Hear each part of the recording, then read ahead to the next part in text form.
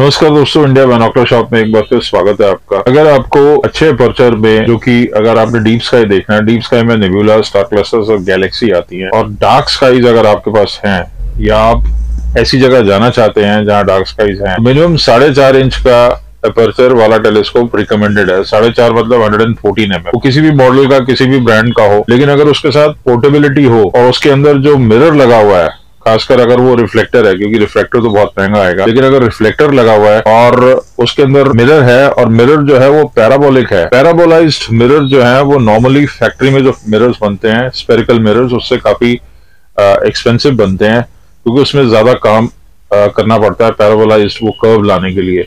तो parabolic mirror अगर आप लेते हैं तो पिक्चर शार्प बनती है, ये नेट रिज़ल्ट उसका है। तो दो या तीन कंपनियाँ हैं जो पैराबोलाइज्ड मिरर बनाती हैं, बड़े पर्चर में या छोटे में।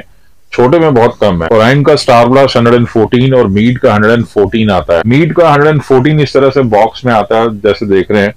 तो पोर्टेबिलिटी एक बहुत बड़ा फैक्टर होता है।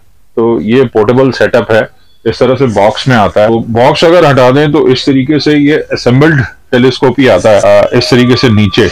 बॉक्स के अंदर। बस आपको निकाल के और यहाँ पे लेवल करना है। इसका डस्ट कैप निकाल के जो इस तरीके से आता है। और दो इसमें आईपीस आते हैं। एक मीड का 26 सिक्स mm आता है। एम एम ए मतलब modified achromat Kellner eyepiece की डेफिनेशन है ये। और दूसरा 9 एम mm का है। कार्लो इसमें साथ में नहीं है, लेकिन इस मॉडल के साथ आपको सोलर फ़िल्टर मिलता है। अगर आपने सन को ऑब्ज़र्व करना है, उसके स्पॉट्स ऑब्ज़र्व करने हैं तो एक अच्छा रिकमेंडेड फ़िल्टर कंपनी ने साथ में दिया हुआ है eclipse solar eclipse view model के साथ। ये मैनुअल आता है इंग्लिश में और एक ये सीडी है साथ में। एक अलग से सोलर स्कोप आता है क्योंकि अगर आपने दिन में सन को लोकेट करना है तो आप इससे लोकेट करेंगे। यहाँ से एस्टिमेट से ये होल है, यहाँ पे आगे कुछ नहीं है, लेकिन इससे एस्टिमेट हो जाएगा। क्योंकि आप रेड डॉट से देखेंगे तो वो हार्म कर सकता है। रेड डॉट फाइंडर जो है, आपने नाइट में यूज़ करना है और ये आपने दिन में यूज़ करना है जब सन देखना है। तो एसेंशियली ये एस्ट्रोनॉमिकल टेलीस्कोप रात के लिए बना है। ऑब्जेक्ट्स आपको इन्वर्टेड ही दिखाएगा दिन में, क्योंकि इसमें मिरर है। ये इसका रैक एंड पीनियन फोकसर है, यहाँ पे आईपीस प्लेस करना है। सबसे पहले आपने छब्बीस एम हम आईपीस यूज़ करना है, जो करीब सत्रह, साढ़े सत्रह एक्स पावर देंगे, काफ़ी वाइड फ़ील्ड है। तो जो भी ऑब्जेक्ट्स आपने ढूँढने हैं तो आप इस आईपीस से ढूंढेंगे। और उसके बाद यहाँ पे लगा के यहाँ से आप फोकस करेंगे और जब आपने ऑब्जेक्ट ढूंढ लिया है, उसके बाद आप इसको निकाल के नाइन एम एम आईपीएस लगाएँगे। फोकस शार्प करेंगे। अगर आप यहाँ से फोकस नहीं करेंगे तो पिक्चर बनेगी नहीं ब्लरी रहेगी। ये वुडन टेबल टॉप स्टैंड है तो इसका मतलब आप आराम से कुर्सी और मेज लगा के आराम से ऑब्ज़र्व कर सकते हैं। रियली लॉन्ग ऑब्जर्वेशन कर सकते हैं। बीस इंच या बाईस इंच के आसपास है। इस तरीके से फोल्ड करके आप बैक पे ले जा सकते हैं। कोई बैक पैक इतना बड़ा हो। तो ये पूरा नाइन्टी डिग्री पे जाता है। तो नाइन्टी डिग्री पे ऑब्जेक्ट जो होते हैं वो हमेशा क्लोजर होते हैं। एयर टर्बुलेंस भी कम होता है। इसके साथ आप कुछ एसेसरीज ऐड कर सकते हैं। अगर आपने प्लैनेट्स पे पावर बढ़ानी है, जो कि आपको बढ़ानी पड़ेगी, अगर प्लैनेट्स आपने थोड़ा पास से देखने हैं। फोकल लेंथ इसकी साढ़े चार सौ है तो आप बारलो है, ये थ्री थाउज़ेंड रुपीज़ का है। ये जो है, करीब आपको डेढ़ सौ एक्स पावर देगा। और 2.5 जो है वो 180 एक्स पावर देगा। दो तीन बातें बड़ी इंपॉर्टेंट है। आपके स्काईज कितने साफ़ हैं क्लियर हैं। लाइट पोल्यूशन अगर नहीं है तो पिक्चर अच्छी बनेगी। ऑब्जेक्ट कितना हाइट पे है ऑप्टिक्स कितने बढ़िया है। ऑप्टिक्स तो इसके अच्छे हैं पैराबोलाइज मिरर है। तो जो लेंसेज हैं वो कितने बढ़िया हैं, जिनसे आपने देखना है, वो प्रोसल क्वालिटी है, उससे ऊपर है तो पिक्चर और शार्प हो जाएगी। एयर टर्ब्यूलेंस अगर कम है इजीनेस कम है ऑब्जेक्ट हाइट में है और अच्छे आईपीसीज हैं तो पिक्चर शार्प बनती है। मोबाइल फ़ोन अडेप्टर भी ले सकते हैं और आईपीस पे लगा के आप फोटोग्राफी कर सकते हैं। इस स्टैंड का फ़ायदा ये है कि इसमें वाइब्रेशन कम होंगे टेबल टॉप है, आप आराम से बैठ के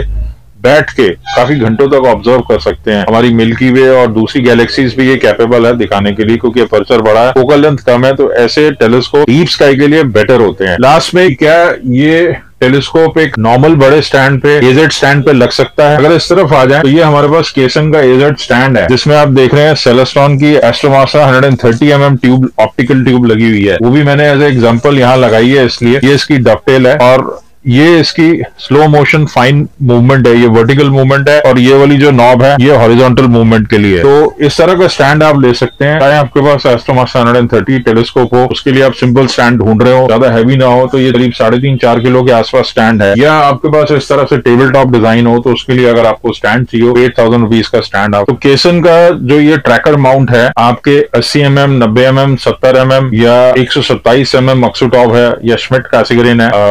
तो सिक्स इंच तक का श्मिट कास्करेन मेरे ख्याल से ये ले सकता है और फाइव इंच तक का रिफ्लेक्टेड टेलीस्कोप ले सकता है। इसके अलावा भी हमारे पास बहुत सारे प्रोडक्ट्स हैं India binocular shop dot com पे और नीचे लिखे हुए नंबर पे। दूसरा जो मॉडल है मीट का हमारे पास, वो लाइट ब्रिज सीरीज़ में आता है, जिसमें सोलर इक्लिप्स नहीं देख सकते आप, वो सिर्फ़ नाइट के लिए है। वो एटीन थाउज़ेंड रुपीज़ का पड़ता है। अमेजोन पे इसकी प्राइस चेक कर सकते हैं, करीब पच्चीस हज़ार के आसपास है। हमसे आप डायरेक्ट लेंगे तो नाइनटीन थाउज़ेंड पिक्चर्स की कैसी दिखाई देती है ये वो उस पर नज़र मार